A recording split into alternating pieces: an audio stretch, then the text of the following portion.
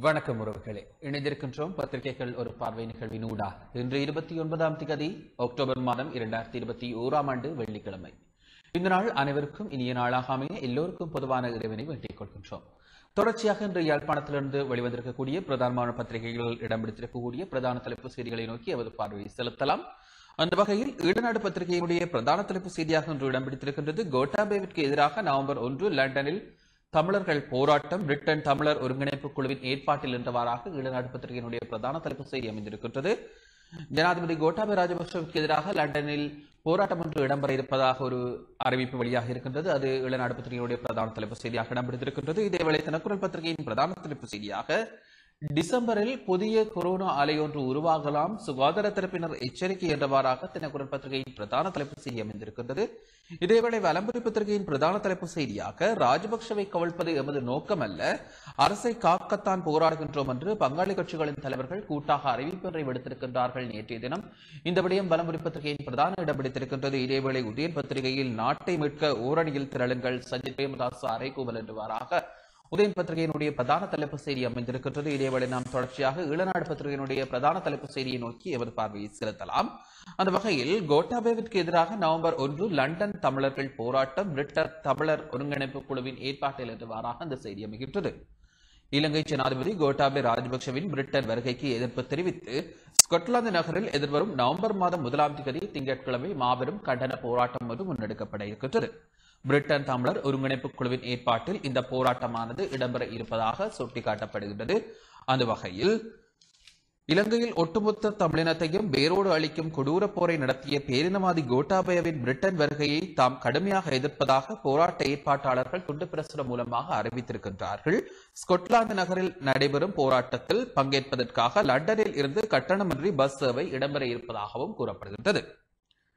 லண்டனிலிருந்து நாளை மறுதினம் முப்பத்தி ஓராம் தேதி இரவு எட்டு மணியளவில் இலவச பஸ்கள் ஸ்கொட்லாந்து நகரை நோக்கி புறப்பட இருக்கின்றன. இந்த போராட்டத்தில் புலம்பெயர் தமிழர்கள் ஓரணியில் திரண்டு பங்கேற்க வேண்டும் என்று பிரிட்டன் தமிழர் ஒருங்கிணைப்பு குழு அழைப்பு விடுத்திருக்கின்றது என்றவாறாக அந்த செய்தி அமைந்திருக்கின்றது. ஜனாதிபதி கோட்டாபய ராஜபக்சவிற்கு எதிராக பிரிட்டன் நாட்டில் உள்ள பிரிட்டன் நாட்டில் போராட்டம் ஒன்று முன்னெடுக்கப்பட இருக்கின்றது. பிரிட்டன் தமிழர் ஒருங்கிணைப்பு குழுவின் ஏற்பாட்டில் இந்த போராட்டம் முன்னெடுக்கப்பட இருப்பதாக கூறப்படுகின்றது. அந்த வகையில் எதிர்வரும் நவம்பர் மாதம் முதலாம் தேதி ஜனாதிபதி கோட்டாபய ராஜபக்ஷ பிரிட்டனுக்கு விஜயம் செய்ய உள்ள நிலையில் தான் இந்த போராட்டம் அவருக்கு எதிராக அவரை விரவிடாமல் தடுப்பதற்கான ஒரு போராட்டமாக இந்த போராட்டம் முன்னெடுக்கப்பட இருப்பதாக அந்த போராட்டம் முன்னெடுக்கப்படுகின்றது. அந்த வகையில் துண்டு பிரசுரங்கள் மூலம் அறிவிக்கப்பட்டிருக்கின்றன. இந்த போராட்டம் மாபெரும் கண்டன போராட்டமாக இடம்பெறும் என்பது என்று பிரிட்டன் தமிழர் ஒருங்கிணைப்பு குழுவால் இந்த போராட்டம் ஏற்பாடு செய்யப்பட்டிருப்பதாக இந்த செய்தி வெளியாகியிருக்கின்றது. இதேவேளை தினக்குரல் பத்திரிகையினுடைய பிரதான தலைப்பு செய்தியை நோக்கியவர் பார்வையை செலுத்தலாம். அந்த வகையில் டிசம்பர் கோவிட் தலை டிசம்பரில் கோவிட் தலை ஒன்று உருவாகலாம். சுகாதார தரப்பினர் எச்சரிக்கை என்றவாறாக அந்த செய்தி அமைகின்றது. நாட்டில் மீண்டும் ஒரு கோவிட் தலை உருவாகும் அபாயம் காணப்படுவதாக சுகாதார தரப்பினர் எச்சரிக்கை விடுத்திருக்கின்றார்கள். எதிர்வரும் டிசம்பர் மாதம் அளவில் கோவிட் தொற்றாளர்களின் எண்ணிக்கை உயர்வடையலாம் என்று அவர்கள் தெரிவித்திருக்கின்றார்கள். பயண கட்டுப்பாடுகள் தளர்த்தப்பட்டு வரும் நிலையில் மக்கள் சுகாதார ஒழுங்கு விதிகளை மீறி செயற்பட்டு வருவது ஆபத்தானது என மருத்துவர் சங்கங்கள் மற்றும் பொது சுகாதார பரிசோதகர்கள் சங்கங்கள் குறிப்பிட்டிருக்கின்றன. இது தொடர்பில் ஊடகங்களுக்கு கருத்துக்களும் வெளியிடப்பட்டிருக்கின்றன. அந்த வகையில் டிசம்பர் மாதம் அளவில் இவ்வாறான ஒரு அச்சம் வரும் என்று பொது சுகாதார பரிசோதகர்கள் சங்கத்தின் தலைவர் உபுல் ரோஹன தெரிவித்திருக்கின்றார். பயண கட்டுப்பாடுகள் தளர்த்தப்பட்ட பின்னர் மக்கள் சுகாதார விதிகளை மீறி செயற்படுவதை அவதானிக்கின்றோம். மக்கள் தூர இடங்களுக்கு சுற்றுலா பயணங்களை மேற்கொள்வதையும் அவதானிக்கக்கூடியதாக இருக்கின்றது. இதனால் நாட்டில் மீண்டும் தொற்று எண்ணிக்கை உயர்வடைவதுடன் குறைந்து சென்ற கோவிட் மரண எண்ணிக்கையும் மீண்டும் அதிகரிக்கும் தன்மையை பார்க்கின்றோம். இதேவேளை புதிய கொத்தணிகள் உருவாகி டிசம்பர் எதிர்வரும் டிசம்பர் மாதம் அளவில் அது அதிகரிப்பதற்கான சாத்தியங்கள் இருக்கின்றன. இதனால் மக்கள் முறையான ஒழுங்கு விதிகளை பின்பற்றுவது அவசியம். இல்லையில் டிசம்பரில் தொற்றை அதிகரித்துக் கொண்டு பண்டிகை காலத்திலும் அடுத்த வருடத்திலும் தொற்று நிலைமையுடனேயே வாழும் நிலைமை உருவாகும் என்று முப்புல் ரோஹண தெரிவித்திருக்கின்றார் என்றவாறாக அந்த செய்தி அமைந்திருக்கிறது. டிசம்பர் மாதம் அளவில் புதியதொரு கோவிட் அலை உருவாகலாம் என்று சுகாதார தரப்பினர் எச்சரிக்கை விடுத்திருக்கின்றார்கள். அந்த வகையில் பொது சுகாதார பரிசோதகர்கள் சங்கத்தின் தலைவராக இருக்கக்கூடிய உப்புல் ரோகட இந்த அச்சத்தை வெளியிட்டிருக்கின்றார். அதாவது எதிர்வரும் டிசம்பர் மாதம் அளவில் பண்டிகை காலங்கள் தற்பொழுது நெருங்கி இருக்கின்றன. அந்த வழியில் அந்த வகையில் தீபாவளி பண்டிகை மற்றும் பல பண்டிகைகள் தற்பொழுது நெருங்கி கொண்டிருக்கின்றன. அந்த வகையில் மக்கள் தொடர்ச்சியாக சுகாதார வழிகாட்டுதல்களை பின்பற்ற தவறினால் மேலும் பல விடயங்களை மக்கள் அவதானமாக செயற்படாவிட்டால் மேலும் ஒரு கோவிட் அலை தற்பொழுது உருவாகுவதற்கான ஒரு அச்சமான சூழ்நிலை ஒன்று உருவாகி இருப்பதாக பொது சுகாதார பரிசோதகர்கள் சட்டத்தினுடைய தலைவராக இருக்கக்கூடிய ஒரு ரோஹன் ஒரு எச்சரிக்கையை விடுத்திருக்கின்றார். அவ்வாறு நடைபெறுமாக இருந்தால் தற்போது குறைவடைந்து செல்கின்ற மரண எண்ணிக்கையும் சரி குறைவடைந்து செல்கின்ற தொற்றாளர்களுடைய எண்ணிக்கையும் சரி கணிசமான அளவு எதிர்வரும் டிசம்பரில் அதிகரித்து மேலும் அடுத்த வருடமும் நாங்கள் கொரோனாவுடனேயே பண்டிகைகளை கொண்டாட வேண்டிய ஒரு நிலைமைக்கு தள்ளப்பட வேண்டிய ஒரு நிலைமையும் ஏற்படும் என்று அவர் தெரிவித்திருக்கின்றார் என்றவாறாக தினகுரல் பத்திரிகையினுடைய பிரதான தலைப்பு செய்தி அமைந்திருக்கின்றது. இதேவேளை வலம்புரி பத்திரிகையினுடைய பிரதான தலைப்பு செய்தியாக இடம் பிடித்திருக்கின்றது. அரசை காக்கவே போராடுகின்றோம் ராஜபக்சாக்களை கவிழ்ப்பது எமது நோக்கம் அல்ல பங்காளி கட்சிகளின் தலைவர்கள் கூட்டாக அறிவிப்பு என்றவாறாக அந்த செய்தி அமைகின்றது. ராஜபக்ஷ அரசாங்கத்தை கவிழ்ப்பது எமது நோக்கம் அல்ல அரசாங்கத்தை காக்கவே போராடுகின்றோம் என அரசின் பங்காளி கட்சிகளின் தலைவர்கள் கூட்டாக அறிவித்திருக்கின்றார்கள் என்றவாறாக அந்த செய்தி அமைகின்றது. ஸ்ரீலங்கா பொதுஜன முன்னணி தலைமையிலான அரசுக்குள் மோதல் ஏற்பட்டுள்ளது எனவும் பங்காளி கட்சிகளின் தலைவர்கள் தனிவழி பயணித்து பயணிக்க தயாராகி வருகின்றனர் எனவும் வெளியாகும் தகவல்களுக்கு பதிலளிக்கையிலேயே அவர்கள் இவ்வாறு குறிப்பிட்டிருக்கிறார்கள் தேசிய வளங்களையும் நாட்டையும் பாதுகாக்கவே அறுபத்தி ஒன்பது லட்சம் பேர் எமது அணிக்கு வாக்களித்தனர். எனவே மக்களின் அபிலாஷைகள் நிறைவேற்றப்பட வேண்டும். அதற்காக நாம் அரசுக்குள் இருந்து கொண்டே போராடுவோம் என பங்காளி கட்சிகளுடைய தலைவர்கள் கூட்டாக அறிவித்திருக்கின்றார்கள். அரசை காக்கத்தான் நாங்கள் போராடுகின்றோம். ராஜபக்சாக்களை கவிழ்ப்பது எங்களுடைய நோக்கம் அல்ல என்று பொதுஜன பிரமனுடைய பிரமணனுடைய பங்காளி கட்சிகளுடைய தலைவர்கள் கூட்டாக நேற்று அறிவிப்பொன்றை விடுத்திருக்கின்றார்கள். அந்த வகையில் தாம் அரசாங்கத்திலிருந்து ஒருபோதும் வெளியேற மாட்டோம் என்ற விடயத்தை அவர்கள் தெளிவாக நேற்றைய தினம் கூறியிருக்கின்றார்கள் என்ற விடயம் இங்கே சுட்டிக்காட்டப்படுகின்றது. அறுபத்தி ஒன்பது லட்சம் மக்கள் நாட்டின் அபிவிருத்திக்காக பங் வாக்களித்திருந்தார்கள். அந்த வாக்களித்த விடயத்தை வாக்களித்தவைக்கு நாங்கள் துரோகம் செய்ய மாட்டோம். அந்த வகையில் தொடர்ச்சியாக நாம் அரசாங்கத்திற்குள் இருந்து கொண்டே நாங்கள் எங்கள் போராட்டத்தை தொடர்ச்சியாக முன்னெடுப்போம் என்றவாறாக பொதுஜன பெருமனுடைய பெருமனவனுடைய கூட்டணியில் இருக்கக்கூடிய கட்சிகள் தெரிவித்திருக்கின்றன. அதாவது விமல் வீரவன்சமாக இருக்கட்டும் சரி உதயகமன் விலவாசுதவன் ஆணையகார தினேஷ் குடவர்த்தன போன்ற தலைவர்கள் தற்பொழுது அரசாங்கத்திற்குள் இருந்து கொண்டு தாம் போராடுவதற்கு தயாராக இருப்பதாக தெரிவித்திருக்கின்றார்கள். அந்த வகையில் தாம் ஒருபோதும் அரசாங்கத்திலிருந்து வெளியேறப் போவதில்லை என்ற விடயத்தையும் அவர்கள் சுட்டிக்காட்டியிருக்கின்றார்கள் என்றவாறாக வலமுறை பத்திரிகையினுடைய பிரதான தலைப்பு செய்தி அமைந்திருக்கின்றது. இதேவேளை உதய பத்திரிகையினுடைய பிரதான தலைப்பு செய்தியாக அமைகின்றது. நாட்டை மீட்க ஓரணியில் திரளுங்கள் சஜித் பிரேமதாஸ் அரைப்பு என்றவாறாக இந்த பிரதான தலைப்பு செய்தி அமைகின்றது. ஜனாதிபதி தேர்தலில் நம்பி வாக்களித்த அறுபத்தி ஒன்பது லட்சத்திற்கும் மேற்பட்ட மக்களையும் ஜனாதிபதி கோட்டாபய ராஜபக்ஷ முட்டாள் ஆக்கியுள்ளார். ஜனாதிபதி தலைமையிலான இந்த அரசிடமிருந்து நாட்டை மீட்டெடுக்க அனைத்து மக்களும் ஓரணியில் திரள வேண்டும் என அறைகூவல் விடுத்திருக்கின்றார். எதிர்க்கட்சி தலைவர் சஜித் பிரேமதாஸ் என்றவாறாக அந்த செய்தி அமைகின்றது. அதாவது நாட்டை மீட்க அனைவரும் ஓரணியில் திரள வேண்டும் என்று எதிர்க்கட்சித் தலைவர் சஜித் பிரேமதாச கோரிக்கை ஒன்றை விடுத்திருக்கின்றார். நாட்டின் இறையாண்மையை சல்லி காசுக்கு விற்பனை செய்ய இடமளிக்கப் போவதில்லை என்று அவர் தெரிவித்திருக்கின்றார். அரசு கடந்த காலத்தில் தேசாபிமானம் தேசப்பற்று இறையாண்மை பற்றி பேசிய அனைத்து கதைகளும் இன்று வெற்றி பேச்சாகியுள்ளன என்றும் அவர் குறிப்பிட்டிருக்கின்றார். அரசின் தூரநோக்கற்ற வேலைகளால் பல்தேசிய நிறுவனங்கள் நாட்டின் இறையாண்மையை தமது கையில் எடுத்து செயற்பட்டு வருகின்றன. நிறுவனங்களுக்கு தன்னிச்சையாக செயற்பட செயற்பட இடமளித்துவிட்டு அரசு செய்வதறியாது வேடிக்கை பார்க்கின்றது. இதற்காகவா அறுபத்தி ஒன்பது லட்சத்திற்கும் மேற்பட்ட மக்கள் வாக்களித்து ஜனாதிபதி கோட்டாபே ராஜபக்சவை த- தலைமையிலான அரசாங்கத்தை தெரிவு செய்தார்கள். அரசின் சில அமைச்சர்கள் தூதரகங்களுக்கு சென்று அடிபணியும் நிலைமையில் நாடு சர்வதேசத்துக்கு முன்னால் கேவலப்படுத்தப்பட்டிருக்கின்றது. ராஜதந்திரத்தை மறந்துள்ள அரசின் அமைச்சர்கள் மற்றும் நாடாளுமன்ற உறுப்பினர்கள் நாட்டின் இறைமைய இறையாண்மையுடன் விளையாடி வருகின்றார்கள். நாட்டின் இறையாண்மையுடன் இவ்வாறு விளையாட எவருக்கும் இடமளிக்க முடியாது. அரசின் இந்த தாந்தோன்றித்தனமான வேலை திட்டத்திற்கு எதிராக ஐக்கிய மக்கள் சக்தி குரல் கொடுக்கும் அரசை வீட்டுக்கு அனுப்புவதை எமது இலக்கு என்றவாறாக அந்த செய்தி அமைந்திருக்கின்றது. உதயன் பத்திரிகையினுடைய பிரதான தலைப்பு செய்தியாக அது அமைந்திருக்கின்றது. நாட்டை மீட்கும் வரை எமது போராட்டம் ஓயாது என்றவாறாக சஜித் பிரேமதாஸ் எதிர்க்கட்சித் தலைவர் சஜித் பிரேமதாஸ் தெரிவித்திருக்கின்றார். அனைவரும் இந்த அரசாங்கத்தை வீட்டிற்கு அனுப்ப ஓரணியில் திரள வேண்டும் என்ற ஒரு கோரிக்கையும் அவர் முன்வைத்திருக்கின்றார். அந்த வகையில் வாக்களித்த அறுபத்தி ஒன்பது லட்சம் மக்களுடைய எதிர்பார்ப்புகள் நிறைவேற்றப்படவில்லை என்ற விடயத்தையும் அவர் இங்கே சுட்டிக்காட்டியிருக்கின்றார் என்றவாறாக உதயன் பத்திரிகையினுடைய பிரதான தலைப்பு செய்தி அமைந்திருக்கின்றது. தொடர்ச்சியாக நாம் ஈழநாடு பத்திரிகையினுடைய ஏனைய செய்திகளை நோக்கி எமது பார்வையை செலுத்தலாம். சுதந்திர தமிழீழத்தை உருவாக்க விரும்பினால் அதற்கும் நாம் தயார் என்கின்றார் எம் கே சிவாஜிலிங்கம் என்றவாறாக என்னும் ஒரு செய்தி அமைந்திருக்கிறது தனி நாடு சுதந்திர தமிழீழத்தை உருவாக்க விரும்பினால் அதற்கும் நாங்கள் தயாராக உள்ளோம் என்று முன்னாள் நாடாளுமன்ற உறுப்பினரும் தமிழ் தேசிய கட்சியின் செயலாளர் நாயகமுமான எம் கே சிவாஜிலிங்கம் தெரிவித்திருக்கின்றார். வடமராட்சியில் நேற்று இடம்பெற்ற ஊடக சந்திப்பில் கலந்து கொண்டு கருத்து தெரிவிக்கும் போதுதான் அவர் இந்த விடயத்தை தெரிவித்திருக்கின்றார். ஜனாதிபதி சில தினங்களுக்கு முன்னர் அதிவிசேட வர்த்தமானி மூலம் ஒரு நாடு ஒரு சட்டம் என்பதனை அமுல்படுத்துவதற்காக பதிமூன்று பேர் கொண்ட குழு ஒன்றை நியமித்திருக்கின்றார். அதாவது இந்த குழுவின் தலைவராக வணக்கத்திற்குரிய ஞானசார தேரரை நியமித்துள்ளார். இவர் ஏற்கனவே நீதிமன்றத்தை அவமதித்ததற்காக தண்டிக்கப்பட்டு பின்னர் பொது மன்னிப்பு அளிக்கப்பட்டு விடுவிக்கப்பட்ட விடுவிக்கப்பட்டவர் ஆவார் பொது மன்னிப்பின் மூலம் இவர் விடுவிக்கப்பட்டிருக்கின்றார். எத்தனையோ சர்ச்சைகளில் ஈடுபட்டவர் அப்படிப்பட்ட ஒருவரை தலைவராக நியமித்து ஒரு நாடு ஒரு சட்டம் என வலியுறுத்த முடியாது. இக்குழுவில் பேரளவில் கூட ஒரு தமிழர் இல்லை. ஒரு சில முஸ்லிம்கள் நியமிக்கப்பட்டுள்ளனர். அப்படியென்றால் இந்நாடு தமிழர்களுக்கு சொந்தமானது இல்லையா? தமிழர்களுக்கு எந்த விதமான உரிமையும் இல்லையா என்கின்ற கேள்வியை இலங்கை ஜனாதிபதியை பார்த்து கேட்கின்றோம். ஒரு இனத்தவர்கள் இருக்கும் நாட்டில் ஒரே நாடு ஒரே சட்டம் பொருந்தும். ஆனால் இலங்கையில் பல்வேறு இனத்தவர்கள் பல்வேறு மதத்தவர்கள் என பல்லின மக்கள் வாழும் இலங்கையில் ஒரு நாடு ஒரு சட்டம் என்பதனை அமுல்படுத்த போகின்றீர்களானால் அது பௌத்தத்தை மட்டும் சார்ந்ததாக அமையும். இதனால் தமிழர்களை இந்த நாட்டை விட்டு களத்தில் பிடித்து தள்ளுவதையே உணர்கின்றோம்.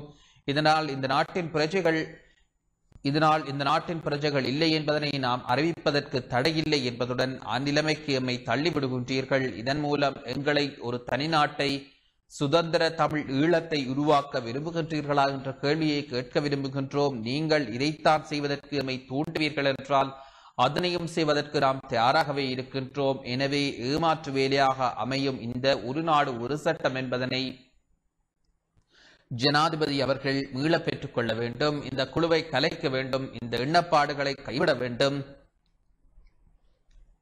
புதிய அரசமைப்பு உருவாவதற்கு முன்னரே இவ்வளவு அவசர அவசரமான கோரிக்கைகளை ஏன் எழுகின்றது? ஆகவே சர்வதேசத்தை பார்த்து சொல்ல விரும்புவது தமிழினத்தை மதிக்க வேண்டுமானால் தமிழ் மக்களை அவமதிக்கும் செயற்பாட்டிற்கு தாங்கள் என்ன செய்ய வேண்டும் என சர்வதேசம்தான் கூற வேண்டும். எனவே நாங்கள் பிரிந்து செல்வதை கட்டாயப்படுத்தினால் அதை செய்வதை தவிர வேறு வழியில்லை என்பதனையும் ஜனாதிபதிக்கும் ஆட்சியாளர்களுக்கும் கூறிக்கொள்ள விரும்புகின்றோம் என அவர் தெரிவித்திருக்கின்றார் என்றவாறாக அந்த செய்தி அமைகின்றது. சுதந்திர தமிழீழத்தை உருவாக்க அரசாங்கம் விரும்பினால் அதற்கு நாம் தயாராகவே இருக்கின்றோம் என்று தமிழ் தேசிய கட்சியினுடைய முன்னாள் நாடாளுமன்ற உறுப்பினர் எம். கே. சிவாஜிலிங்கம் தெரிவித்திருக்கின்றார் என்றவாறாக அந்த செய்தி அமைகின்றது. மேலும் நேற்றைய தினம் அஞ்சூற்று நாற்பது பேருக்கு கொரோனா தொற்று உறுதி செய்யப்பட்ட நிலையில் இருபத்தி இரண்டு பேர் உயிரிழந்திருக்கின்றார்கள் என்றவாறாக மேற்பொரு செய்தி காணப்படுகின்றது. நாட்டில் கொரோனா வைரஸ் தொற்று உறுதியான மேலும் ஐநூற்று நாற்பது பேர் நேற்றைய தினம் அடையாளம் காணப்பட்டிருக்கிறார்கள் சுகாதார அமைச்சின் தொற்று நோயியல் பிரிவு இந்த விடயத்தை தெரிவித்திருக்கின்றது. இதற்கமைய நாட்டில் கொரோனா தொற்று உறுதி செய்யப்பட்டவர்களின் மொத்த எண்ணிக்கை ஐந்து லட்சத்து முப்பத்தி எட்டாயிரத்து எண்ணூற்று அறுபதாக அதிகரித்திருக்கின்றது. இதேவேளை கொரோனா தொற்றால் பாதிக்கப்பட்ட மேலும் ஏழாயிரத்து நானூற்று எண்பத்தி ஏழு பேர் நேற்றைய தினம் குணமடைந்திருக்கிறார்கள். இந்த நிலையில் குணமடைந்தவர்களின் மொத்த எண்ணிக்கை ஐந்து லட்சத்து பதினோராயிரத்து எண்ணூற்று அறுபத்தி மூன்றாக அதிகரித்திருக்கிறது என்றவாறாக அந்த செய்தி அமைகின்றது. மேலும் நேற்று முன்தினம் கொரோனா தொற்று காரணமாக இருபத்தி இரண்டு பேர் உயிரிழந்திருக்கின்றார்கள். அந்த வகையில் இவ்வாறு உயிரிழந்தவர்களில் ஒன்பது ஆண்களும் பன்னிரண்டு பெண்களும் உள்ளட பதிமூன்று பெண்களும் உள்ளடங்குவதாக தெரிவிக்கப்படுகின்றது. அந்த வகையில் முப்பது வயதிற்குட்பட்டவர்கள் எவரும் நேற்றைய தினம் உயிரிழக்கவில்லை என்று கூறப்படுகின்றது. அந்த வகையில் முப்பது வயது தொடக்கம் ஐம்பத்தி ஐம்பத்தி ஒன்பது வயதிற்கு இடைப்பட்ட மூன்று ஆண்களும் மூன்று பெண்களுமாக ஆறு பேர் உயிரிழந்திருக்கின்றார்கள். அறுபது வயதுக்கு மேற்பட்டவர்களில் ஆறு ஆண்களும் ஒன்பது பெண்களுமாக பதினைந்து பேர் உயிரிழந்திருக்கின்றார்கள். இந்நிலையில் உயிரிழந்தோரின் மொத்த எண்ணிக்கை பதிமூன்றாயிரத்து அறுநூற்றி தொண்ணூற்றி ஆறாக அதிகரித்திருக்கின்றது என்றவாறாக அந்த செய்தி அமைகின்றது. நேற்றைய தினம் ஐநூற்று நாற்பது பேருக்கு கொரோனா தொற்று உறுதி செய்யப்பட்டிருக்கின்ற நிலையில் ஏழாயிரத்துக்கும் மேற்பட்ட- மேற்பட்டவர்கள் குணமடைந்து சென்றிருக்கின்றார்கள். இதேவேளை நேற்று முன்தினம் இருபத்தி இரண்டு கொரோனா மரணங்களும் பதிவாயிருப்பதாக இந்த செய்தி காட்டுகின்றது. தொடர்ச்சியாக வவுனியாவில் பதினேழு பேர் உட்பட யாழ் வடக்கு மாகாணத்தில் முப்பது பேருக்கு கொரோனா தொற்று உறுதி செய்யப்பட்டிருப்பதாக மேலும் ஒரு செய்தி காணப்படுகின்றது.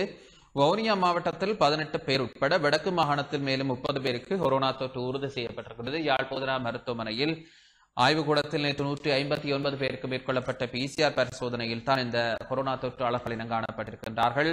இதன் அடிப்படையில் வவுனியா சுகாதார மருத்துவ அதிகாரி பிரிவில் பதினேழு பேர் நெடுங்கேணி மருத்துவ அதிகாரி பிரிவில் ஒருவர் என மாவட்டத்தில் வவுனியா மாவட்டத்தில் பதினெட்டு தொற்றாளர்கள் இனங்காணப்பட்டிருக்கின்றார்கள். சாவகச்சேரி ஆதார மருத்துவமனையில் மூன்று பேர் தெல்லிப்படை ஆதார மருத்துவமனையில் இரண்டு பேர் கோப்பாய் பிரதேச மருத்துவமனையில் ஒருவர் யாழ் போதனா மருத்துவமனையில் ஒருவர் என யாழ் மாவட்டத்தில் ஏழு பேருக்கும் தொற்று உறுதி செய்யப்பட்டிருக்கின்றது முல்லைத்தீவு மல்லாவி ஆதார மருத்துவமனையில் மூன்று பேரும் மன்னார் மாவட்ட பொது மருத்துவமனையில் இரண்டு பேரும் தொற்றாளர்களாக இனங்காணப்பட்டிருக்கின்றார்கள் என்றவாறாக அந்த செய்தி காணப்படுகின்றது. வவுனியா பொது சுகாதார பிரிவில் பதினேழு பேர் உட்பட வடக்கு மாகாணத்தில் நேற்றைய தினம் மாத்திரம் முப்பது பேருக்கு கொரோனா தொற்று உறுதி செய்யப்பட்டிருக்கிறது என்றவாறாக அந்த செய்தி அமைகின்றது.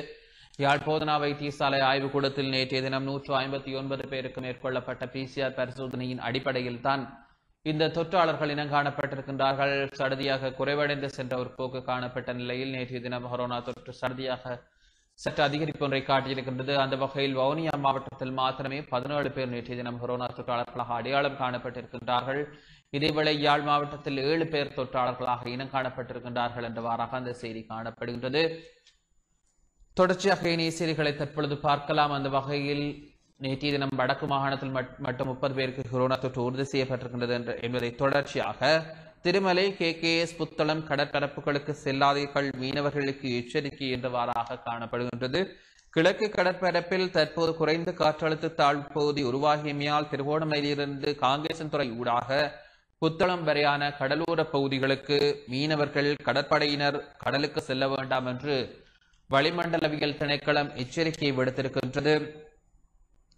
அந்த வகையில் தற்போதைய குறைந்த காற்றழுத்த தாழ்வு நிலை தாக்கத்தால் நாட்டை சூழ உள்ள கடற்பரப்பில் மழையுடனான வானிலை மேலும் அதிகரிக்கும் என்று எதிர்பார்க்கப்படுகின்றது என்றும் தெரிவிக்கப்பட்டிருக்கின்றது. கடலோர பகுதிகளில் மணிக்கு அறுபது தொடக்கம் அறுபத்தைந்து கிலோமீட்டர் வேகத்தில் காற்று வீசக்கூடும் என்றும் எதிர்பார்க்கப்படுகின்றது. மேலும் திருகோணமலையிலிருந்து காங்கேசன்துறை ஊடாக புத்தளம் வரையிலும் காலி அம்பாந்தோட்டை ஊடாக கொத்துவில் வரையான கடற்பரப்புகளும் கொந்தளிப்பாக காணப்படும் என்றும் திணைக்களம் எச்சரிக்கை விடுத்திருக்கின்றது. திடீரென பலத்த காற்று கொந்தளிப்பான கடல் இடியுடன் கூடிய மழையும் எதிர்பார்க்கப்படுவதால் கடற்தொழிலாளர்கள் கரையோர பகுதிகளில் வசிப்பவர்கள் அவதானமாக இருக்குமாறும் வளிமண்டலவியல் திணைக்களம் எச்சரிக்கை விடுத்திருக்கின்றது என்றவாறாக அந்த செய்தி அமைகின்றது. திருகோணமலை கே. புத்தளம் போன்ற கடற்பரப்புகளுக்கு மீனவர்கள் செல்ல வேண்டாம் என்று வளிமண்டலவியல் திணைக்களம் எச்சரிக்கை விடுத்திருக்கின்றது. கிழக்கு கடற்கர கடற்பரப்பில் தற்பொழுது குறைந்த காற்றழுத்த தாழ்வு பகுதி உருவாகியமே தொடர்ந்து இந்த அச்சம் வெளியிடப்பட்டிருக்கின்றது. அந்த வகையில் மீனவர்களுக்கான எச்சரிக்கையாக இந்த எச்சரிக்கை விடுக்கப்பட்டிருக்கின்றது என்றவாறாக இந்த செய்தி காணப்படுகின்றது. பேருந்து ரயில் சேவைகள் நவம்பர் ஒன்று முதல் வழமைக்கு போக்குவரத்து ராஜாங்க அமைச்சர் திலும் அமுனுகம தெரிவிப்பு என்றவாறாக மேலும் ஒரு செய்தி காணப்படுகின்றது. எதிர்வரும் நவம்பர் முதலாம் திகதி திங்கட்கிழமை தொடக்கம் பொது போக்குவரத்து சேவைகளை வளமையான கால அட்டவணையில் நடத்துவதற்கு தீர்மானிக்கப்பட்டுள்ளதாக போக்குவரத்து ராஜாங்க அமைச்சர் திலும் அமுனுகம தெரிவித்திருக்கின்றார் என்றவாறாக அந்த செய்தி காணப்படுகின்றது. கண்டியில் இடம்பெற்ற செய்தியாளர் மாநாட்டில் அவர் இவ்வாறு தெரிவித்திருக்கின்றார். மாணவர்களுக்கு பேருந்துகள் தேவையில்லை எனில் பாடசாலை அதிபர்கள் பேருந்து சாலை அதிகாரிகளுக்கு தகவலை தெரிவிக்க முடியும். பருவகால சீட்டு இல்லாதவர்களை ரயிலில் பயணிக்க அனுமதிப்பது குறித்து இதுவரை எந்த முடிவும் எடுக்கப்படவில்லை என்றும் இதுகுறித்து கோவிட் பத்தொன்பது செயலணி செயலணியுடன் ஆராய்ந்து முடிவுகள் எடுக்கப்படும் என்றும் ராஜாங்க அமைச்சர் திலும் அமனுகம்ப தெரிவித்திருக்கின்றார் என்றவாறாக இந்த செய்தி அமைந்திருக்கின்றது. போக்குவரத்து அமைச்சர் பவித்ரா வன்னியாராட்சி தலைமையில் இடம்பெற்ற கூட்டத்தின் போது இந்த முடிவு எடுக்கப்பட்டுள்ளதாக அவர் தெரிவித்திருக்கின்றார். எதிர்வரும் நவம்பர் முதலாம் தேதி முதல் பேருந்து ரயில் சேவைகள் வழமைக்கு திரும்புவதாக அறிவிக்கப்பட்டிருக்கின்றது. மேலும் சிஐடிக்கு பதிலளிக்க கால அவகாசம் கோரினார் அருட்தந்தை ஸ்ரீல்காமினி என்றவாறாக மேலும் ஒரு செய்தி காணப்படுகின்றது. காணொளி மாநாட்டில் வெளியிடப்பட்ட கருத்து தொடர்பில் குற்றப்புலனாய்வு பிரிவிற்கு அழைக்கப்பட்டிருந்த அருட்தந்தை ஸ்ரீல்காமினி தமக்கு ஒரு வார கால அவகாசத்தை வழங்குமாறு கோரிக்கை விடுத்திருக்கின்றார். இரண்டாயிரத்தி பத்தொன்பது ஏப்ரல் இருபத்தி ஓராம் தேதி இடம்பெற்ற ஈஸ்டர் குண்டு தாக்குதல் தொடர்பில் விடயம் இது தொடர்பான விடயங்களை முன்னிலைப்படுத்தி அண்மையில் இடம்பெற்ற காணொளி கலந்துரையாடலின் போது வெளியிடப்பட்ட கருத்துக்கள் தொடர்பில் விசாரணை மேற்கொள்வதற்காக அருட்தந்தை சிறில்காமினி நேற்று அழைக்கப்பட்டிருந்தார் என்று போலீஸ் ஊடக பேச்சாளர் சிரேஷ்ட போலீஸ் அத்தியட்சகர் நிகால் தல்துப குறிப்பிட்டார். எனினும் ஒரு வார கால அவகாசத்தை வழங்குமாறு அருட்தந்தை கோரியிருக்கின்றார். வீர்த்தஞான தின தாக்குதல்கள் தொடர்பான இணையதள விவாதம் தொடர்பான விசாரணைகளை ஆரம்பித்துள்ளதாக குற்றப்புலனாய்வு திணைக்களம் கொழும்பு பிரதம நீதவான் முன்னிலையில் நேற்று முன்தினம் அறிக்கை சமர்ப்பித்தார். சமர்ப்பித்தது. இது தொடர்பில் இந்த கலந்துரையாடலில் தாம் தொடர்பில் பொய்யான கருத்துக்கள் கூறப்பட்டுள்ளன என அரச புலனாய்வு பிரிவின் பணிப்பாளர் மேஜர் ஜெனரல் ஸ்ரீ சாலே செய்த முறைப்பாட்டுக்கமைய விசாரணை ஆரம்பிக்கப்பட்டுள்ளதாக அந்த செய்தி காணப்படுகின்றது. சிஐடிக்கு பதிலளிக்க கால அவகாசம் கோரினார் அருட்தந்தை ஸ்ரீல் காமினி என்றவாறாக அந்த செய்தி காணப்படுகிறது காணொளி மாநாட்டில் வெளியிடப்பட்ட கருத்து தொடர்பிலான விடயம் தொடர்பாக அவர் நேற்றைய தினம் அழைக்கப்பட்டிருந்தார். அந்த வகையில் ஒரு வார கால கால அவகாசத்தை கோரியிருக்கின்றார் என்றவாறாக அந்த செய்தி காணப்படுகின்றது. தொடர்ச்சியாக பார்த்திபனிடம் ஐந்து மணி நேரம் டிஐடி விசாரணை என்றவாறாக மேலும் ஒரு செய்தி காணப்படுகின்றது. யாழ் மாநகர சபை உறுப்பினர் பார்த்திபனிடம் பயங்கரவாத தடுப்பு போலீசார் நேற்று ஐந்து மணி நேரம் விசாரணை நடத்தினார்கள். யாழ் மாநகரில் தண்டப்பணம் மரபடும் நடைமுறையை கையாள்வதற்காக அமைக்கப்பட்ட யாழ்ப்பாணம் மாநகர உத்தியோகத்தர்கள் ஐவருக்கும் சீருடையை வடிவமைத்து பெற்றுக் கொடுத்தமை தொடர்பில் வாக்குமூலம் வழங்குவதற்காக பயங்கரவாத தடுப்பு போலீசாரினால் நேற்றைய தினம் விசாரணைக்கு அழைக்கப்பட்டிருந்தார் கொழும்பிலிருந்து வந்தவர்களால் யாழ் மாநகர சபையின் உறுப்பினர் வரதராஜா பார்த்திவ நேற்றைய தினம் அழைக்கப்பட்டு இந்த விசாரணையானது இடம்பெற்றிருக்கின்றது. அந்த வகையில் விசாரணைக்கு பின்னர் செய்தியாளர்களை சந்தித்த பார்த்திவன் விசாரணை இடம்பெற்றமை தொடர்பில் விவரித்தார். இதன்போது தன்னிடம் மாநகர கண்காணிப்பாளர்களின் சீருடை யாருடையது யாருடையது அனுமதியில் அறிமுகப்படுத்தப்பட்டது என கேள்வி எழுப்பப்பட்டதாக கூறினார். மேலும் சீருடைக்கு ஏன் இந்த நிறம் தெரிவு செய்யப்பட்டது போன்ற பல கேள்விகள் பயங்கரவாத தடுப்பு போலீசாரால் கேட்கப்பட்டது என்றும் அவர் தெரிவித்திருக்கின்றார். சீருடையில் வடிவமைப்பு முழுமையாக கொழும்பு மாநகர சபையின் முடிவை தழுவி எடுக்கப்பட்டதாக தெரிவித்தேன். தொடர்ந்தும் அது தொடர்பில் பல கேள்விகளை எழுப்பினர். இறுதியில் மேலதிக விசாரணைகளுக்காக தேவைப்பட்டால் கொழும்பிற்கு வரவேண்டிய நிலைமை ஏற்படும் என்றும் சீருடை விவகாரங்கள் தொடர்பான விசாரணைகள் முடிவடைந்து விட்டன ஆனால் உங்களுடைய முகப்புத்தகத்தில் போடப்பட்ட பதிவுகள் தொடர்பான விசாரணைகள் சில வேளைகளில் உங்கள் மீது இருக்கலாம் என்றும் அவர்கள் கூறினார்கள் என்றவாறாக அந்த செய்தி காணப்படுகிறது. யாழ் மாநகர சபை உறுப்பினர் வரதராஜா பார்த்திமரிடம் நேற்றைய தினம் விசாரணை டிஐடி டிஐடியினால் விசாரணை மேற்கொள்ளப்பட்டிருக்கின்றது. பல விடயங்கள் தொடர்பாக யாழ் மாநகர சபையால் எடுக்கப்பட்ட திண்ம கழிவகற்றல் தொடர்பான விடயங்கள் தொடர்பான விசாரணைகள் நேற்றைய தினம் முன்னெடுக்கப்பட்டது என்றவாறாக அந்த செய்தி காணப்படுகின்றது. மேலும் ஒரே நாடு ஒரே சட்டம் ஜனாதிபதி செயலணியில் தமிழர்களையும் இணைக்க ஜனாதிபதி இணக்கம் என்றவாறாக விளம்பரி பத்திரிகையினுடைய செய்தி காணப்படுகின்றது. ஒரே நாடு ஒரே சட்டம் எனும் அரசு தலைவர் செயலணியில் தமிழர் பிரதிநிதிகளை இணைக்க ஆளும் கட்சி தலைவர்கள் கூட்டத்தில் வைத்து ஜனாதிபதி கோட்டாபய ராஜபக்ஷ இணக்கம் தெரிவித்திருக்கின்றார் என்றவாறாக அந்த செய்தி வெளியாகியிருக்கின்றது. பிரதமரின் பெருந்தோட்ட துறைக்கான இணைப்பு செயலாளரும் இலங்கை தொழிலாளர் காங்கிரசின் உபதலைவருமான செந்தில் தொண்டமான் இந்த தகவலை வெளியிட்டிருக்கின்றார். கலகுடாத்தே ஞானசார தேரர் தலைமையிலான இந்த செயலணியில் தமிழ் பிரதிநிதிகள் யாரும் உள்ளடக்கப்படாமை தொடர்பில் பெருமளவு கண்டனங்கள் தெரிவிக்கப்பட்டிருக்கின்றது. இந்த நிலையில் நேற்று ஆளும் கட்சிகளுக்கு இடையிலான கூட்டம் ஆளும் கூட்டணியில் உள்ள கட்சிகளுக்கு இடையிலான தலைவர்களுக்கு இடையிலான கூட்டமானது இடம்பெற்றது. இந்த கூட்டத்தின் போதுதான் இந்த கோரிக்கை முன்வைக்கப்பட்டிருக்கின்றது. அந்த வகையில் தமிழர்களையும் இந்த குழுவில் இணைப்பதற்கு இணக்கம் வெளியிடப்பட்டிருக்கின்றது. அந்த வகையில் இந்த விடயத்தை அமைச்சர் டக்ளஸ் தேவானந்தா மற்றும் செந்தில் தொண்டமான் ஆகியோர் பிரஸ்தாபித்திருந்தனர். இதன்படி அந்த செயலணியை மேலும் விஸ்தரித்து தமிழ் பிரதிநிதிகளை உள்ளடக்க நடவடிக்கை எடுப்பதாக ஜனாதிபதி இதன்போது உறுதி அளித்துள்ளதாக செந்தில் தொண்டமான் தெரிவித்திருக்கின்றார் என்றவாறாக அந்த செய்தி காணப்படுகின்றது. ஒரே நாடு ஒரே சட்டம் ஜனாதிபதி செயலணியில் தமிழர்களையும் இணைக்க ஜனாதிபதி இணக்கம் வெளியிட்டுள்ளதாக இலங்கை தொழிலாளர் காங்கிரசினுடைய உபதலைவர் செந்தில் தொண்டமான் தெரிவித்திருக்கின்றார். அவர்களுடைய கோரிக்கை நேற்று ஏற்றுக்கொள்ளப்பட்டிருக்கின்றது. ஜனாதிபதி கோட்டாவை ராஜபக்ஷ தலைமையில் இடம்பெற்ற அனைத்து ஆளுங்கட்சி கூட்டத்தின் போது இந்த முடிவு எடுக்கப்பட்டிருப்பதாக அந்த செய்தி வெளியாகியிருக்கின்றது. தவறி விழுந்த பெண் மரணம் வடமராட்சியில் சம்பவம் என்றவாறாக மேலும் ஒரு செய்தி காணப்படுகின்றது. யாழ்ப்பாணம் வடமராட்சியில் குளியறையில் குளியலறையில் தவறி விழுந்த வயோதிப்பு பெண் ஒருவர் உயிரிழந்தார். நேற்று முன்தினம் புதன்கிழமை இரவு செம்பியன் பெற்று தெற்கு பகுதியில் இந்த சம்பவம் பதிவாகி இருக்கின்றது இயேசுநேசன் கமலாம்பிகை என்ற எழுபத்தி மூன்று வயதுடைய முதி முதிய பெண்மணியை வர உயிரிழந்திருக்கின்றார். மேற்படி வயோதிப மாது குளியல் அறையில் விழுந்ததாக தெரிவித்து மருதங்களை பிரதேச வர்த்தசால் வைத்தியசாலையில் அனுமதிக்கப்பட்டு பின்னர் மேலதிக சிகிச்சைக்காக பருத்துத்துறை ஆதர வைத்தியசாலைக்கு அழைத்து சென்றபோது அவர் உயிரிழந்திருக்கின்றார். இச்சம்பவம் தொடர்பில் நேற்று வியாழக்கிழமை பருத்தித்துறை மரண விசாரணை அதிகாரி சதானந்தம் சிவராசா விசாரணைகளை மேற்கொண்டார் என்றவாறாக அந்த செய்தி காணப்படுகின்றது. வடமராட்சியில் தவறி விழுந்த பெண்ணொருவர் உயிரிழந்த சம்பவம் பதிவாயிருக்கின்றது. எழுபத்தி மூன்று வயது வயதுடைய வயது பெண்ணொருவர் நேற்றைய தினம் உயிரிழந்திருக்கின்றார். குளியல் அறைக்குள் அவர் இவ்வாறு தவறி விழுந்து உயிரிழந்துள்ளதாக தெரிவிக்கப்படுகின்றது. அந்த வகையில் பிரேத பரிசோதனை மேற்கொள்ளப்பட இருப்பதாகவும் கூறப்படுகின்றது. அந்த வகையில் வடமராட்சி வடமராட்சி பகுதியில் நேற்றைய தினம் இந்த சம்பவமானது பதிவாகியிருக்கின்றது தொடர்ச்சியாக யாழ் மாவட்டத்தின் கரையோரங்களில் பலத்த காற்று வீசக்கூடும். அனர்த்த முகாமைத்துவ பிரிவு எச்சரிக்கை என்றவாறாக அந்த செய்தி காணப்படுகிறது யாழ் மாவட்டத்தின் கடற்கரையை அண்டிய பகுதிகளில் வசிப்போர் மிகவும் அவதானமாக செயற்படுமாறு யாழ் மாவட்ட அனர்த்த முகாமைத்துவ பிரிவு எச்சரிக்கை விடுத்திருக்கின்றது. தற்பொழுது தற்பொழுதுள்ள தாளமுக்கத்தின் காரணமாக காற்றின் வேகமானது மிகவும் அதிகரித்த நிலையில் காணப்படும் என்றவாறாக அந்த செய்தி காணப்படுகின்றது. அந்த வகையில் யாழ் மாவட்டத்தில் இந்த காற்றழுத்த தாழ் தாழ்வு நிலை மிகவும் அதிகரித்திருப்பதால் யாழ் மாவட்டத்தின் கடற்கரையோரங்களில் காற்றின் வேகம் அறுபது தொடக்கம் அறுபத்து ஐந்து கிலோமீட்டர் வரை வேகத்தில் வீசக்கூடும் என்று எதிர்பார்க்கப்படுகின்றது. இதனால் கடற்கரையாண்டிய பகுதிகளில் வசிப்போர் மிகவும் அவதானமாக இருக்குமாறு கேட்டுக் கொள்ளப்படுகின்றனர். கடற்தொழிலுக்கு செல்வோர் மிகவும் அவதானமாக செல்லுமாறும் மறு அறிவித்தல் வரும் வரை அவதானமாக செயற்படுமாறும் யாழ் மாவட்ட அனர்த்த முகாமைத்துவ பிரிவு தெரிவித்திருக்கின்றது. என்றவாறாக அந்த செய்தி காணப்படுகின்றது. யாழ் மாவட்டத்தின் கடற்கரையோ கரையோரங்களில் பலத்த காற்று வீசக்கூடிய வாய்ப்பு இருப்பதாக அனர்த்த முகாமைத்துவ பிரிவு எச்சரிக்கை விடுத்திருக்கின்றது. குறைந்த காற்றழுத்த தாழ்வுப்பகுதியின் காரணமாக இந்த நிலை ஏற்பட்டிருப்பதாக கூறப்படுகின்றது. மேலும் ஏனைய செய்திகளை தற்பொழுது பார்க்கலாம். அந்த வகையில் மின்னல் தாக்கியதில் பதினான்கு வயது மாணவன் பலி துணுக்காயில் சம்பவம் என்றவாறாக மேலும் ஒரு செய்தி காணப்படுகின்றது. முல்லைத்தீவில் மின்னல் தாக்கியதில் பதினான்கு வயது மாணவன் ஒருவன் உயிரிழந்துள்ளார் என்றவாறாக அந்த செய்தி காணப்படுகின்றது. இச்சம்பவம் கடந்த இருபத்தி ஆறாம் தேதி செவ்வாய்க்கிழமை மாலை முல்லைத்தீவு துணுக்காய் தேராங்கண்டல் கிராமத்தில் நிகழ்ந்துள்ளது. தேராங்கண்டல் அமெரிக்கன் மிஷன் தமிழ்கலவன் பாடசாலையில் தரம் ஒன்பது மாணவரான சசிகுமார் ஆதவன் என்ற பதினான்கு வயது மாணவனே இவ்வாறு உயிரிழந்திருக்கின்றார். தேராங்கண்டல் குடப்பகுதியில் இன்னொருவருடன் மாடு மேய்த்துக் கொண்டிருந்த போது மின்னல் தாக்கியதில் குறித்த மாணவன் உயிரிழந்துள்ளதாக தெரிவிக்கப்படுகிறது. அந்த வகையில் மின்னல் தாக்கி துணுக்காய் பகுதியில் இந்த சம்பவம் பதிவாகியிருக்கின்றது.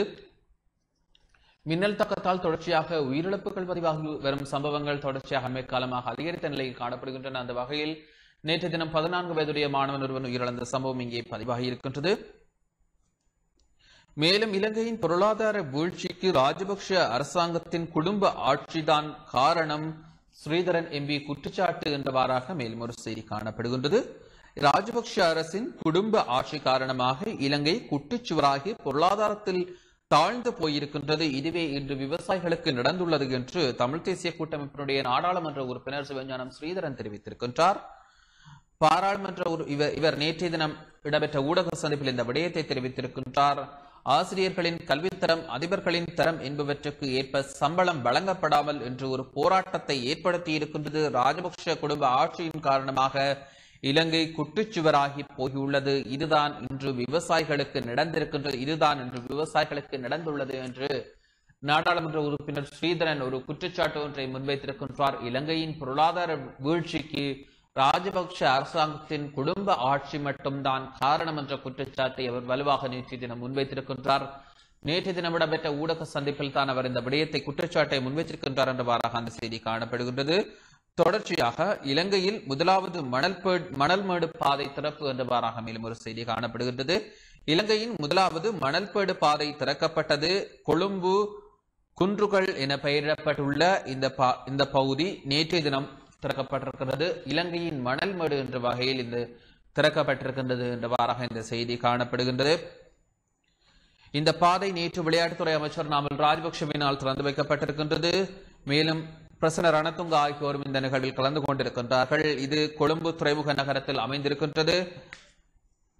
மூன்று கிலோமீட்டர் பந்தய பாதைகளை கொண்ட கொழும்பு டூன்ஸ் பந்தய மைதானம் துறைமுக நகரத்தில் சுமார் ஐந்து ஏக்கர் பரப்பளவில் அமைந்திருக்கின்றது. கொழும்பு துறைமுக நகரத்தில் நேற்று திறந்து வைக்கப்பட்ட ATV truck running on the sand dunes என்று நாட்டில் நிர்மாணிக்கப்பட்ட முதலாவது மணல் பாதை இதுவாகும் என்று கூறப்படுகின்றது.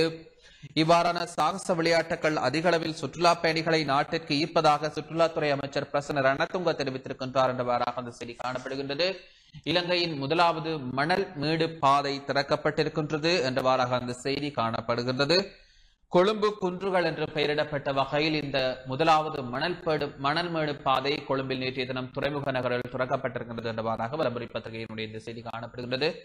வலம்புரி பத்திரிகையில் இடம்பிடித்த செய்திகளாகவே காணப்படுகின்றன. தொடர்ச்சியாக உதயன் பத்திரிகையின் ஏனைய செய்திகளை தற்பொழுது பார்க்கலாம். அந்த வகையில் கூட்டுறவு சங்க கிளைகளில் சீனி விற்பனை ஆரம்பம். மாகாண கூட்டுறவு ஆணையாளர் தெரிவிப்பு என்றவாறாக அந்த செய்தி காணப்படுகிறது. வடக்கு மாகாணத்தில் உள்ள பல்நோக்கு கூட்டுறவு சங்கங்களின் ஊடாக விற்பனை செய்வதற்கு ஒரு தொகுதி சீனி கிடைக்கப்பட்டிருப்பதாக அந்த அந்த வகையில் சீனி விற்பனை தற்பொழுது ஆரம்பிக்கப்பட்டிருப்பதாக கூறப்படுகின்றது. கூட்டுறவு சங்கங்களின் திணைக்களங்கள் ஊடாக இந்த சீனி விற்பனை செய்யப்படுவதாக கூறப்படுகின்றது.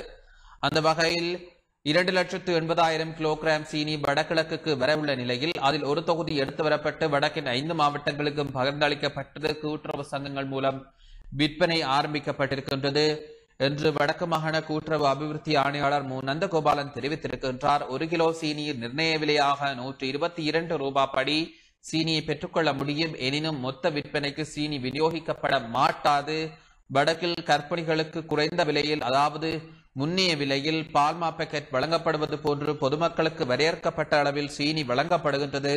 பொதுமக்கள் தமது பகுதிகளில் உள்ள கூட்டுறவு சங்க கிளைகளில் இவற்றை பெற்றுக்கொள்ள முடியும். பால்மா மற்றும் சீனி விற்பனை நடவடிக்கைகள் அந்தந்த பிரிவு கூட்டுறவு அபிவிருத்தி சங்கங்களின் அபிவிருத்தி உத்தியோகத்தர்கள் கண்காணிப்பார்கள் என்றவாறாக அந்த செய்தி வெளியாக இருக்கின்றது கூட்டுறவு சங்க கிளைகளில் சீனி விற்பனை ஆரம்பமாகி இருப்பதாக வடக்கு மாகாண கூட்டுறவு ஆணையாளர் தெரிவித்திருக்கின்றார் என்றபடியும் இங்கே இடம் பிடித்திருக்கின்றது. மேலும் பங்காளிகளுடன் கோத்தா சந்திப்பு இழுத்தடிப்பின் பின்னர் இறங்கி வந்தார் என்றவாறாக மேலும் ஒரு செய்தி காணப்படுகின்றது. கேரவலப்பட்டி சுகாதனவி மின் உற்பத்தி நிலையம் உரப்பிரச்சனை உட்பட்ட பன்னிரண்டு காரணிகள் தொடர்பில் ஜனாதிபதி கோட்டாபே ராஜபக்ஷ பல பெரும் இழுத்தடிப்புகளுக்கு பின்னர் பங்காளி கட்சிகளுடைய தலைவர்களை நேற்றைய தினம் சந்தித்து பேச்சுவார்த்தை நடத்தி இருக்கின்றார் அந்த வகையில் நேற்றைய இரவு இந்த கலந்துரையாடல் இடம்பெற்றிருக்கின்றது. கரவலப்பட்டி ஜுகதனவி மின் உற்பத்தி நிலையத்தின் நாற்பது வீத பங்குகளை அமெரிக்க நிறுவனத்திற்கு வழங்கும் அரசின் முடிவிற்கு பங்காளி கட்சிகள் கடும் எதிர்ப்பை வெளியிட்டிருக்கின்றன. இது தொடர்பில் பிரதமர் மஹிந்த ராஜபக்ஷ மற்றும் நிதியமைச்சர் பசில் ராஜபக்ஷ ஆகியோருடனும் பங்காளி கட்சிகளின் தலைவர்கள் சந்திப்புகளை நடத்தியிருந்தார்கள். எனினும் உரிய தீர்வு கிடைக்கவில்லை. இதனால் ஜனாதிபதியுடன்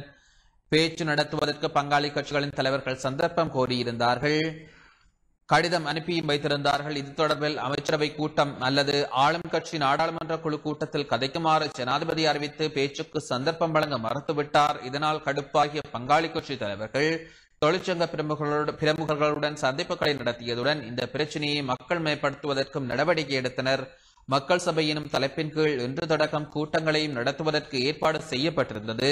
இவ்வாறானதொரு பின்புலத்தில் நேற்று மாலை பங்காளி கட்சி தலைவர்களுக்கு ஜனாதிபதி அவசர அழைப்பு விடுத்திருந்தார். ஜனாதிபதி தலைமையில் நடைபெற்ற இந்த கூட்டத்தில் பிரதமர் மஹிந்த ராஜபக்ஷ நிதியமைச்சர் வசூல் ராஜபக்ஷ பங்காளி கட்சிகளின் தலைவர்கள் பங்கேற்றிருந்தனர். சந்திப்பின் பின்னர் ஊடகங்களுக்கு கருத்து வெளியிட்ட ராஜாங்க அமைச்சர் தியாஸ்ரீ ஜாசகர ஜுகதனவி உரப்பிரச்சனை கொரோனா உட்பட பன்னிரண்டு விடயங்கள் தொடர்பில் கலந்துரையாடப்பட்டன. குறிப்பாக யுகதனவி மின் உற்பத்தி நிலையம் தொடர்பில் ஆரம்ப கட்ட உடன்படிக்கை மட்டும் கைச்சாத்திடப்பட்டிருக்கின்றது எனவும் அடுத்துள்ள இரண்டு உடன்படிக்கைகளுமே முக்கியமானவை எனவும் நிதியமைச்சர் எங்களுக்கு தெளிவுபடுத்தினார். அந்த உடன்படிக்கைகளுக்கு எமது யோசனைகளையும் வழங்குமாறு கூறினார் இது தொடர்பில் நாம் கலந்துரையாடி முடிவை அறிவிப்போம். சந்திப்பு சாதகமாக அமைந்தது. இதேவேளை நாம் ஏற்பாடு செய்த கூட்டம் ஏற்பாடு செய்துள்ள கூட்டம் நடைபெறும். அதில் மாற்றமில்லை என்றவாறாக அந்த செய்தி காணப்படுகின்றது. நீண்ட இழுத்தடிப்பிற்கு பின்னர் பங்காளி கட்சிகளுடன் ஜனாதிபதி கோட்டாபய ராஜபக்ஷ சந்திப்பு என்றவாறாக அந்த செய்தி காணப்படுகின்றது. மேலும் அரசாங்கம் கேலிக்குத்து ஆடுவதாக ரத்னதீரர் விசனம் வெளியிட்டிருக்கின்றார் என்றவாறாக மேலும் ஒரு செய்தி காணப்படுகிறது. இந்த நாட்டில் ஒரின மக்கள் மட்டும் வாழவில்லை பல்லின மக்களே வாழ்கின்றார்கள். இதனால் கண்டிப்பாக ஆட்சியாளர்கள் இதனை மனதில் கொள்ள வேண்டும் என்று தேரர் ஒருவர் அரசாங்கத்தின் விடயத்தை எச்சரிக்கை விடுத்திருக்கின்றார். அரசாங்கத்திற்கு எதிராக கருத்துரை வெளியிட்டிருக்கின்றார். இந்த நாட்டில் ஒரு இன மக்கள் மட்டும் வாழவில்லை என்று தேரர் ஒருவர் கூறியிருக்கின்ற கூறியிருப்பதான செய்தி இங்கே வெளியாகி இருக்கின்றது ஜனாதிபதியின் இந்த விடயம் ஒரு கேலிக்கூத்தான விடயம் என்று ரத்ன தேரர் எஸ். சி. ரத்ன தேரர் என்று தேரர் ஒருவர் இவ்வாறு கவலை வெளியிட்டிருக்கக்கூடிய ஒரு செய்தி இங்கே வெளியாக இருக்கின்றது. மேலும் சுற்றாடல் போலீஸ் வரு வருமுன் வடக்கை சுத்தமாக்குங்கள் உள்ளூராட்சி சபை தவிசாளர்களுக்கு ஆளுநர் ஜீவன் தியாகராஜா உத்தரவு என்றவாறாக மேலும் ஒரு செய்தி காணப்படுகின்றது. சுற்றாடல் போலீசார் வடக்கிற்கு வருவதற்கு முன் வடக்கை முழுமையாக சுத்தமாக்குங்கள் என்று ஒவ்வொரு பிரதேச சபையினுடைய தவிசாளர்களுக்கும் வடக்கில் உள்ள ஒவ்வொரு பிரதேச சபையினுடைய தவிசாளர்களுக்கும் வடக்கு மாகாண ஆளுநர் ஜீவன் தியாகராஜா உத்தரவொன்றை பிறப்பித்துள்ளார் என்றவராக மேலும் ஒரு செய்தி அமைந்திருக்கின்றது. மேலும் கோட்டாவால் இலங்கையை இல்லாமல் போகும் ஒரு நிலை உருவாகும் என்றும் எதிர்க்கட்சித் தலைவர் சஜித் பிரேமதாசா சாடியிருக்கக்கூடிய விடயம் இங்கே இடம்பிடித்திருக்கிறது மேலும் சிறுபான்மையினரை விரட்டுவதுதான் ராஜபக்ஷ அரசாங்கத்தின் நோக்கமா என்று சுரேஷ் பிரேமச்சந்திரன் கேள்வி ஒன்றை எழுப்பியிருக்கின்றார் அதாவது ஒரே நாடு ஒரே சட்டமன்ற ஜனாதிபதி செயலணியினுடைய தலைவராக ஞானசாரத்தர் நியமிக்கப்பட்டிருக்கின்றார். அங்கு தமிழ் பிரதிநிதி பிரதிநிதித்துவம் எதுவும் வழங்கப்படவில்லை. இதற்கு எதிர்ப்பு தெரிவித்து சுரேஷ் பிரேமச்சந்திரன் முன்னாள் நாடாளுமன்ற உறுப்பினர் சுரேஷ் பிரேமச்சந்திரன் கருத்து வெளியிட்டிருக்கின்றார். அந்த வகையில் சிறுபான்மையினரை விரட்டுவதுதான் ராஜபக்ஷ அரசாங்கத்தின் கொள்கையா என்று அவர் கேள்வி ஒன்றை எழுப்பியிருக்கின்றார். என்றவாறாக அந்த செய்தி காணப்படுகின்றது. தொடர்ச்சியாக தினக்குரல் பத்திரிகையில் இடம்பிடித்திருக்கக்கூடிய செய்திகளாக காணப்படுகின்றன. சீன உரத்தை ஏற்க மாட்டோம் என்று சீன தூதுவரிடம் பிரதமர் மஹிந்த ராஜபக்ஷ தெரிவித்திருக்கக்கூடிய விடயம் இங்கே இடம்பிடித்திருக்கிறது சீன தூதுவருக்கும் பிரதமர் மஹிந்த ராஜபக்ஷவிற்கும் இடையிலான விசேட சந்திப்பு ஒன்று நேற்றைய தினம் இடம்பெற்றிருக்கின்றது. அந்த வகையில் பாக்டீரியாக்கள் உள்ள சீன உரத்தை இலங்கை ஏற்றுக்கொள்ளாது என்று பிரதமர் மஹிந்த ராஜபக்ஷ திட்டவட்டமாக அறிவித்திருக்கின்றார். சீன தூதுவரிடம் என்றவாறாக அந்த செய்தி காணப்படுகின்றது. மேலும் நவம்பர் மூன்றுக்கு பின்னர் நாடளாவிய ரீதியில் மின்தடை மின்சார சபையின் தொழிற்சங்கங்கள் எச்சரிக்கை என்றவாறாக மேலும் ஒரு செய்தி காணப்படுகின்றது. நவம்பர் மூன்றாம் தேதிக்கு பின்னர் நாடளாவிய ரீதியில் மின்சாரம் தடைப்படும் என்று இலங்கை மின்சார சபையின் தொழிற்சங்கங்கள் அரசாங்கத்திற்கு எச்சரிக்கை விடுத்திருக்கின்றன. கரவலப்பட்டியை ஜுகதனவி மின் உற்பத்தி நிலையத்தின் பங்குகளை விற்பதற்காக அமெரிக்க நிறுவனத்துடன் உடன்பாடு செய்யப்பட்டுள்ளமை தொடர்பில் இந்த எச்சரிக்கையை விடுத்திருக்கின்றன. அந்த வகையில் போராட்டம் ஒன்றை முன்னெடுக்க உள்ளதாகவும் இலங்கை மின்சார சபையின் தொழிற்சங்கங்கள் எச்சரிக்கை விடுத்திருக்கின்றன. அந்த வகையில் நவம்பர் மூன்றாம் தேதிக்கு பின்னர் நாடளாவிய ரீதியில் மின்தடை அமல்படுத்தப்படும் என்றும் அவர்கள் எச்சரிக்கையை விடுத்திருக்கின்றார்கள். மேலும் சிஐடியால் விசாரணை ஒரு வார கால அவகாசம் கோரிய அரட்டந்தை வேறு மூன்று மத குருமாரும் நேற்றைய தினம் ஆஜராகியிருப்பதாக தெரிவிக்கப்படுகின்றது. காணொளி ஊடாக இந்த உயிர்த்த ஞாயிறு தாக்குதல் தொடர்பாக கருத்துக்களை வெளியிட்ட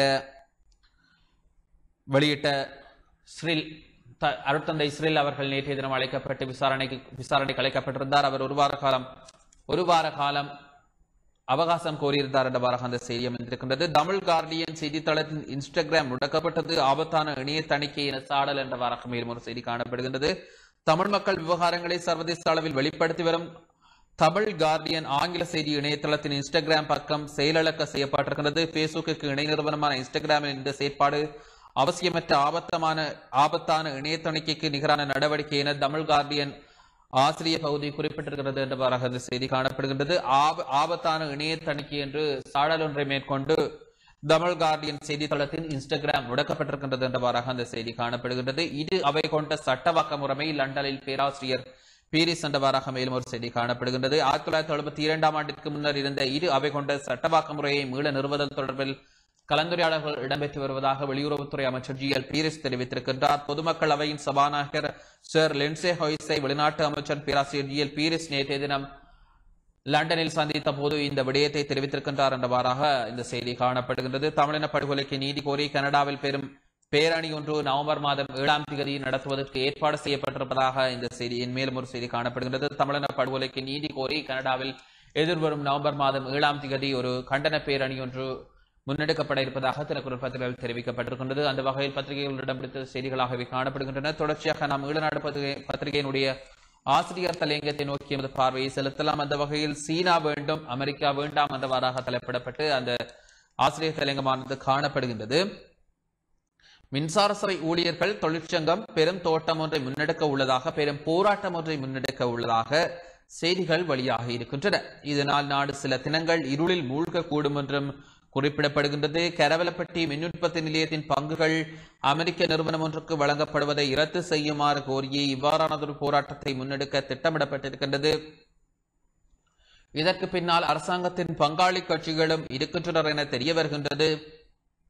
ஏனெனில் அரசாங்கத்தின் பங்காளி கட்சிகள் குறித்த விடயத்தில் அரசாங்கத்தின் முடிவை எதிர்க்கின்றன. இந்த பின்னணியில் தான் மின்சார சபை ஊழியர் தொழிற்சங்கம் இவ்வாறானதோர் அறிவிப்பை வெளியிட்டிருக்கின்றது. சில மாதங்களுக்கு முன்னர் இது போன்றதொரு தொழிற்சங்க போராட்டம் இடம்பெற்றது. கிழக்கு கொள்கலன் முனையத்தை இந்தியாவின் அதானி நிறுவனத்திற்கு வழங்குவதை எதிர்த்து துறைமுக தொழிற்சங்கங்கள் போராட்டத்தில் இறங்கின. இதனைத் தொடர்ந்து இரண்டாயிரத்தி பதினேழில் முன்னே அரசாங்கம் இந்தியாவுடன் செய்து கொண்ட உடன்பாட்டை இலங்கை அரசாங்கமானது கைவிட்டிருக்கின்றது. இதனால் புதுடில்லிக்கும் கொழும்பிற்கான உறவில் விரிசல் ஏற்பட்டிருக்கிறது. அதேவேளை நெருடலும் ஏற்பட்டிருக்கின்றது. பின்னர் இதனை சமாளிக்கும் வகையிலேயே மேற்கு கொள்கலன் முனையத்தை வழங்கும் விருப்பத்தை அரசாங்கம் வெளியிட்டது. அந்த உடன்பாடை அண்மையில் பூர்த்தி செய்யப்பட்டிருக்கின்றது. கரவலப்பட்டி மின் உற்பத்தி நிறுவன விடயத்திலும் இப்படியானதொரு நாடகம் தான் அரங்கேறுகின்றதா தொழிற்சங்கங்களின் எதிர்ப்பை காரணம் காட்டி அமெரிக்க நிறுவனத்துடனான உடன்பாட்டையும் அரசாங்கம் கைவிடுமா என்று கேள்வி எழுகின்றது. இங்கு கவனத்தில் கொள்ள வேண்டிய விடயம் அம்பாந்தோட்டை துறைமுகம் சீனாவிற்கு தொன்னூற்று ஒன்பது வருட குத்தகைக்கு வழங்கப்பட்டது. அப்போது அதற்கு எதிராக நாடு தழுவிய தொழிற்சங்க போராட்டங்கள் எவையும் இடம்பெறவில்லை. துறைமுக நகர சட்டம் மூலம் கொண்டு வரப்பட்ட போது அதற்கு எதிராக நாடு தழுவிய போராட்டங்கள் எதுவும் இடம்பெறவில்லை. ஆனால் இந்தியாவின் அமெரிக்க திட்டங்கள் தொடர்பில் தான் மிக பெரும் எதிர்ப்புகள் வெளியிடப்படுகின்றன.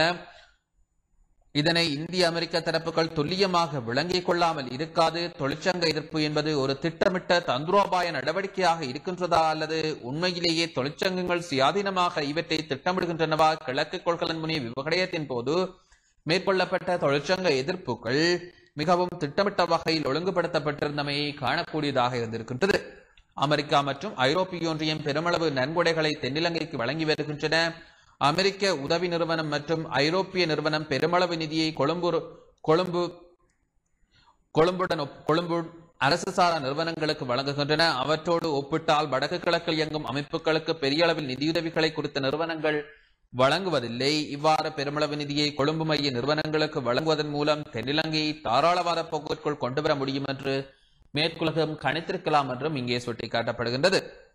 ஆனால் இதுவரையில் அந்த முயற்சி பெரிதாக வெற்றியளித்ததாக கூற முடியாது. அதனையும் அமெரிக்கா மற்றும் மேற்குலக தரப்புகள் புரிந்து கொள்ளாமல் இருக்க வாய்ப்பில்லை. அதேவேளை மேற்குலக நிதியுதவிகளை பெறும் கொழும்பு மைய அரசு சாரா நிறுவனங்கள் எவற்றாலும் தென்னிலங்கை அரசியலில் பெரிய அளவில் செல்வாக்கு செலுத்த முடியவில்லை என்பது தற்போது திட்ட தெளிவாக தெரிவிக்கப்படுகின்ற ஒரு விடயமாக காணப்படுகின்றது.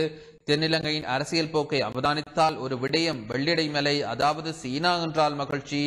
அமெரிக்கா இந்தியா என்றால் வெறுப்பு. இது ஒரு இயல்பான சிங்கள பௌத்த தேசியவாத போக்காகவே இருக்கின்றது என்றவாறாக இந்த ஆசிரியர் தலையங்கம் காணப்படுகின்றது. இலங்கைக்கு சீனா வேண்டும் அமெரிக்கா வேண்டாம் என்றவாறாக அந்த தலைப்பிடப்பட்ட ஈழநாடு ஆசிரியர் தலையங்கமானது காணப்பட்டிருக்கின்றது. அதாவது சீனாவிற்கு தொன்னூற்றி ஒன்பது வருட காலத்திற்கு அம்பாந்தோட்டை துறைமுகம் குத்தகைக்கு வழங்கப்பட்ட போதும் எந்த ஒரு தொழிற்சங்க போராட்டங்கள் முன்னெடுக்கப்படவில்லை. சீனாவிற்கு நாட்டின் பல பகுதிகள் விற்கப்பட்ட போதும் எந்தவிதமான தொழிற்சங்க போராட்டங்களும் முன்னெடுக்கப்படவில்லை. ஆனால் அமெரிக்கா மற்றும் இந்தியாவிற்கு மாத்திரம் இந்த விற்கப்படுவது என்று வரும்போது இலங்கை இல- இலங்கையில் உள்ள பகுதிகள் விற்கப்படுவது என்று வரும்போது இந்த போராட்டங்கள் முன்னெடுக்கப்படுவதானது இலங்கைக்கு இலங்கை அரசாங்கத்துக்கு அமெரிக்கா இந்தியா வேண்டாம்.